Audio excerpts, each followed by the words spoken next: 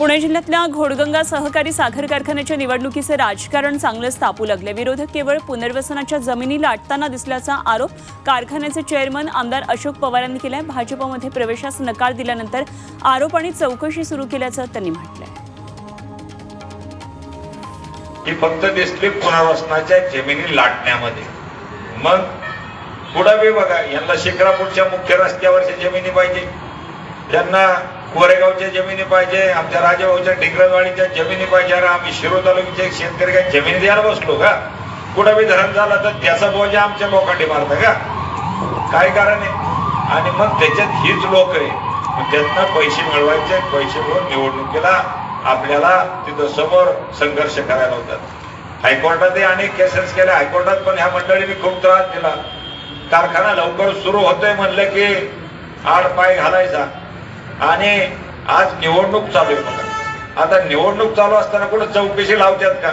पण निवडणूक चालू असताना बी आम्हाला नोटिसा चौकशी सुरू आहे. भोजन शंभर कोटीचा तुम्ही अडवला त्यावेळेला आम्हाला अनेक आटी टाकल्या टाकत होता तुम्ही. पण आम्हाला मधुकर पिचड साहेब व्हायचं नव्हतं. आपण नैतिकता बाळगणारी माणसं आहे पवार साहेबांना मानणारी माणसं आहे.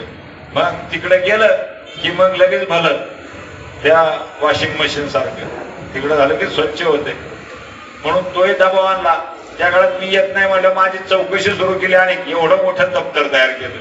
काही नाही निघालं. पण आता निवडणुकीचा काळ आहे. पायाखालची वाळू घसरली. आता चौकशी आता सुरू आहेत आमची. चौकशीची आमच्याकडे लक्षात लावा म्हणजे कुठं नैतिकता गेली कुठं नीतिमत्ता गेली? लोक असला कधी स्वीकार करणार नाही की ज्याला कधी एक संस्था चालवता आली नाही. मांडुगंजची विकास सोसायटी गेले तीन चार वर्ष एकदाही डिव्हिडंड नाही दिला. आपल्या सोसायटीने दिलं काय बघा मी बारा टक्के मी त्यांचा टाळ्या वाजून स्वागत करतो सोसायटीचे तीन चार वर्ष एक रुपया नाही दिला. खताचं दुकान होतं ते बंद पाडलं. कापडाचं दुकान होतं ते बंद पाडलं. एनडी दादा फराटे त्यांचे चेअरमन होते. खूप सोसायटी चांगली चालवली. बरं कापडाचं दुकान नुसतं बंद नाही पाडलं. तर जे शिल्लक होतं कापड ते आपल्या आपल्यात वाटून घेतले. किंमत दिली हजार रुपयाला शंभर रुपये. आणि हे संस्था चालवायला निघाले. मराठ्यांची तळपती तलवार. म्हणजे?